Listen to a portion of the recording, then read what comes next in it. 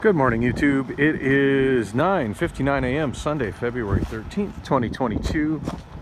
And uh, that person looks like she's living on this corner. Alrighty then. Uh, so I'm, I, uh, I just went to Circle K, get some, get something to eat, kind of hungry, and some beverages, and, and walking back to my storage over at U-Store, um, I finally got around, uh, so as you saw in the last video, I was heading over there with a box of recycling.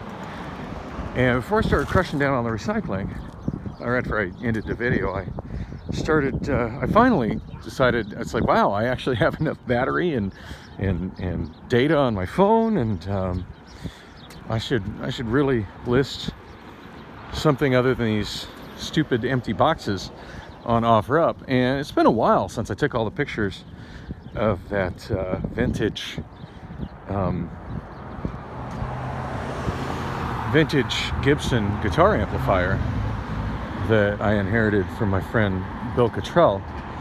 And, and, it's like, you know, those, those images are done. They've already been, you know, cropped and edited. And I just got to make the listing. It shouldn't take too long. So I, uh, I did the listing and this time, and I definitely need to adjust my box listing be the same way because I, I, got somebody that messaged me on, I think it was Friday, asking if, you know, the listing on the box thing was still good. And, um, and on, uh, um, and of course Friday I was kind of overwhelmed with phone issues. Uh, so I think the message came down probably right after after I gave the phone to the repair shop.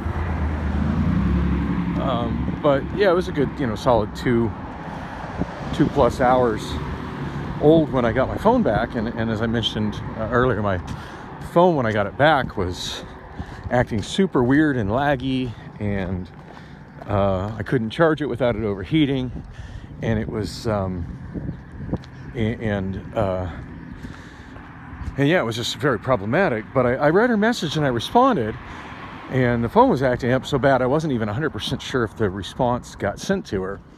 Well, anyway, when I got the phone back yesterday, uh, after I left the second repair shop, uh, it was one of the first things I checked. Uh, well, I shot that video as I was walking down uh, towards the uh, Cox store to pay for my uh, cable internet early. And, and that video ended, I'm not entirely sure, like as you saw, I got cut off. Uh, it's kind of showing how the properties had, had changed uh, since the addition of the 51 freeway. And I didn't even bother to restart the video, and I had a bit of a screen freak out. By the way, I just had a third one of those as I was on my way to my storage on the bus this morning. Um, at this point, they're, they're really infrequent. They seem to go away quick. I'm just kind of crossing my fingers that they'll sort of fix themselves. I mean, it, it's granted it should be covered and you know handled by the the repair shop that put in my screen, but after seeing the things that they did wrong on my phone, and I'm fully blaming my battery completely shitting itself on them as well. Um, yeah, I just really don't want, I really don't want that guy opening my phone again. Just don't. So, um, yeah, uh, was I thinking? Oh, so, so when I was coming back from there, uh, oh man, my train of thought is not good at all. Uh, Oh yeah, so that's I, I checked my messages on uh, on OfferUp, and she did indeed get the message when I sent it to her at about you know, 5:30, 5:45, and never responded. And that's something I'm, I'm really not fond of with with OfferUp. Um, it seems like people always just want an, an, instant, immediate response, and you know I don't always have access to my phone. I'm don't I'm not always awake. I don't always have a charge on my phone when the messages come in. So, uh, you know, I respond to them as soon as I see them. Uh, occasionally, they, they, I don't get push through notifications. So, you know, but at least like once a day, I'm, I'm just checking my inbox on OfferUp, sometimes more. And I don't know. I mean, to me, on, on a you know something that's email-ish, um, I mean, I guess it's more like a text message interface. But I mean, regardless, it's it's through an through an app but obviously it's not my main app, and uh, I would consider a two and a half, you know, less than less than three hour response time to be pretty good.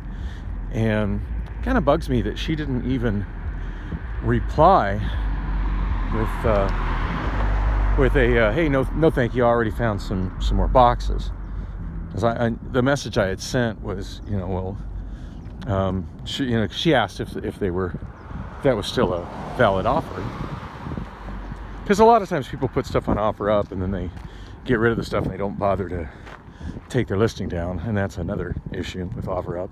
So far I've never done that, but that listing is getting a little on the old side. I haven't modified it or refreshed it, so it's you know it shows as kind of an older listing. Uh, so she uh, she um, yeah, she never replied. You know that she already got it because I the message I sent I managed to eke out through my phone's issues.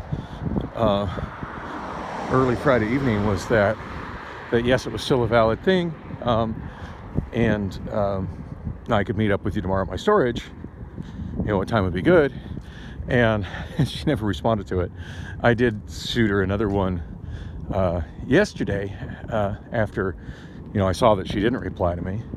Um, just telling her that that um, actually it was later than that. It was after I was on my way home from uh, from Bullocks yesterday, and a messenger saying that um, I didn't, uh, that I wouldn't, uh, wouldn't be able to meet her today, but uh, you know, which I mean, she never contacted me about meeting yesterday, so whatever. That I, I didn't meet her today, but would uh, meet her on uh, meet her on uh,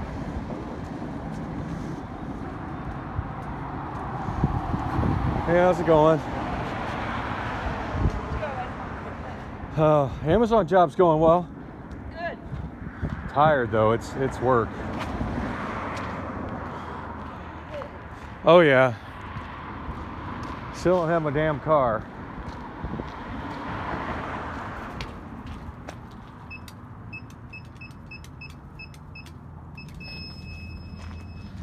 Uh, so anyway, the what you call it the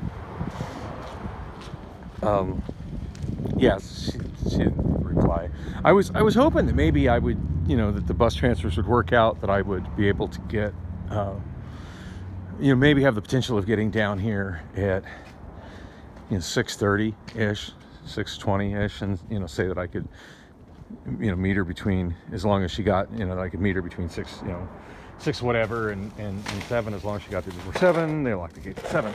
And um, but it as it turned out uh, yesterday was definitely a bad transit day and uh, dang i'm dropping my stuff out my bag the slope of this pavement right here is more problematic than I would have ever expected it to be.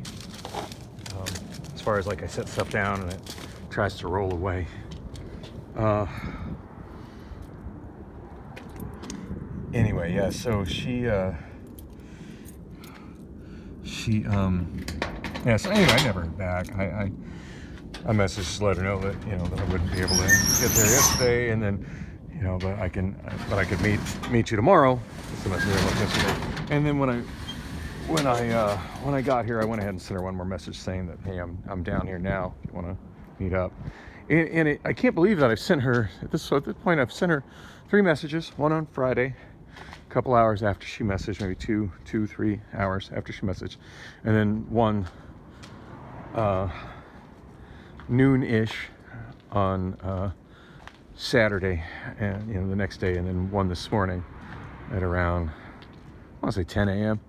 and yeah pretty disappointed that she hasn't can't even be bothered to message and say, yeah, I'm, I'm, I'm good. I don't need them anymore.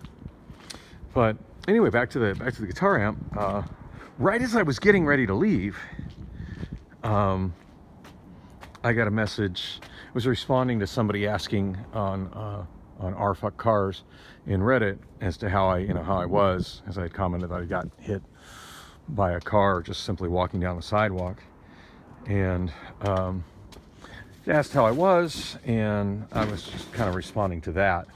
And that's when the message came in about somebody wanting to buy this. Now I listed I listed it for 500. Um, I saw similar amps fully restored selling for about three four thousand dollars on eBay, but I mean, God knows how much work this thing needs, and it's far away from fully restored. And I can't even say say what the problem is with it. Uh, this is it right here, Gibson. Uh, so um, so I put it up as is. I put it for $500, but then I put in, you know, that, you know, just you, you make an offer. And I don't even know if $500 is a high price or a low price to put it at. It, it seemed pretty darn reasonable.